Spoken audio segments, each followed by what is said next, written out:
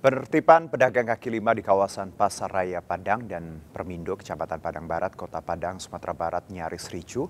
Sejumlah pedagang yang menolak diberlakukannya jam operasional bahkan menggelar aksi karaoke di jalan sebagai bentuk protes terhadap aturan tersebut.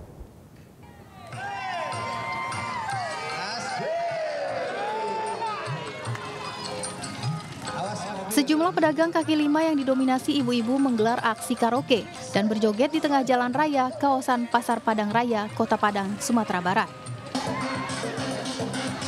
Aksi ini sebagai bentuk protes para pedagang terkait aturan pemberlakuan jam operasional berjualan mulai pukul 3 sore hingga pukul 10 malam yang diterapkan Dinas Perdagangan Kota Padang. Pemberlakuan tersebut dianggap tidak berpihak kepada PKL karena selama ini mereka sudah membayar retribusi kepada Dinas Perdagangan agar diperbolehkan berjualan. Tidak lah Pak, kami menolak lah Pak. Kalau dapat kita buka jam 1 loh Pak. Seperti biasa.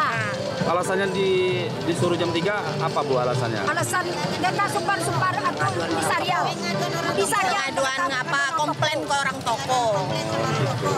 Orang tokonya tertutup orang pedagang. Kami ini sebagai benalu katanya Pak. Kami membayar retribusi loh Pak. Perda Perwako, silakan kosongkan sanampangan sekarang. Sebelumnya, salah satu ketua PKL Pasar Raya Padang sempat mengamuk dan menantang petugas Satpol PP yang hendak melakukan penertiban.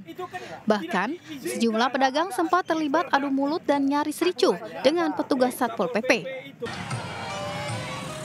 Sementara itu, pengaturan jam operasional PKL berdasarkan surat keputusan wali kota terkait penertiban PKL di sepanjang kawasan Pasar Raya Padang dan kawasan Permindo. Dari Padang, Sumatera Barat, Budi Sunandar, iNews melaporkan.